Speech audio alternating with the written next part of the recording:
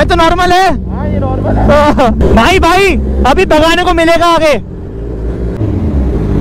दोस्तों YouTuber pro rider भाई, जिनके यूट्यूब चैनल पे 12 लाख से ज़्यादा सब्सक्राइबर है, उत्तर प्रदेश के यमुना हाईवे के बारे में पाँच बातों का पता चला है। नंबर वन जिस हाईवे पे 300 की स्पीड में बाइक को चला रहे प्रो राइडर भाई, जिनके बारे में टोल टैक्स पे ये कहा जा रहा है कि जब यहाँ से निकले थे, तब उनकी गाड़ी काफ़ी स्पीड में थी और उनकी बाइक स्पीड में थी। स्पीड के साथ ही उनकी बाइक की आवाज़ भी काफ़ी तेज थी तो सभी लोग चौकने हो गए थे। लेकिन दोस्तों, सभी ने ये भी कहा कि ये स्पोर्ट बाइक ऐसी ही आती है और इनकी आवाज़ ऐसी ही आती है तो उसको नजरअंदाज कर दिया था। Number two. Pro rider toll tax को पार कर लिए थे।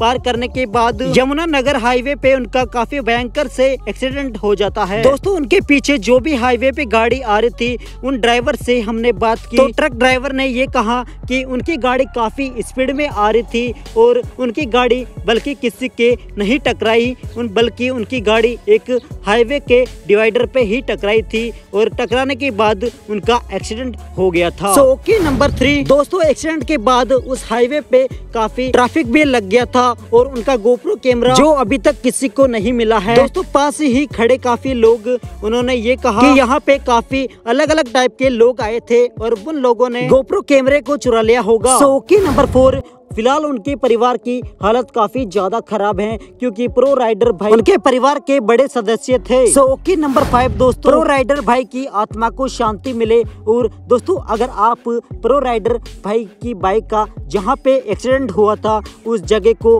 और उस हाईवे को अगर देखना चाहते हो तो हमें कमेंट करके ज़रूर बताइएगा। हम आपको वहाँ की पूरी जानकारी दे देंगे। तो so, दोस्तों वहाँ पे प्रो राइडर भाई के फ़ैन सभी जगह को देखने आते हैं और कहते हैं कि यहाँ पे ऐसा कैसे हो सकता है। दोस्तों, आपको क्या लगता है, ये एक साजिश है या फिर गलती से हुआ एक्सीडेंट है? दोस्तों, आपकी राह हमें कमेंट बॉक्स में ज़रूर दीजिएगा।